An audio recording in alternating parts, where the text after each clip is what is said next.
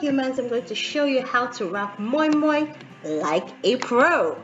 Now, first step is to blend beans and season it according to the things you like to have in your moi moi. And then I will prep my pot by laying down some moi moi leaves. Some people use the sticks, but I didn't have any. So I'm just using the leaves. And then I do something I call the one, two, three, four formation. I know every time I wrap moi moi, I always count one, two, three, four in my head. That's just what I do. Anyway, you pour in your batter into the cone-like structure of the moi moi leaves. Do not be tempted to overfill, especially if you are adding obstacle. Now gently fold that into a nice packet and then bring that back onto itself, if you get what I'm saying. And then put that same side down.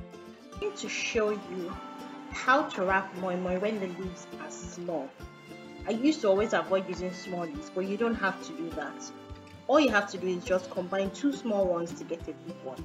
So you overlap them on their edges and then you fold it as normal. That's basically it. You do the same one two three four formation.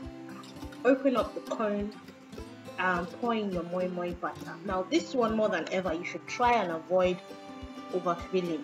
That is the major reason why your moi moi will spill.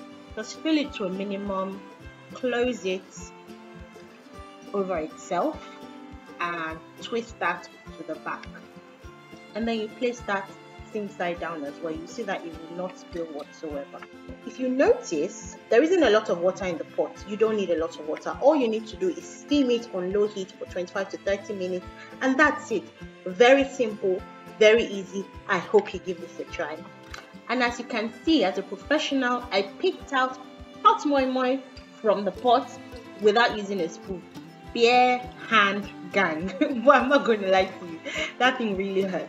But I do hope you give this a try.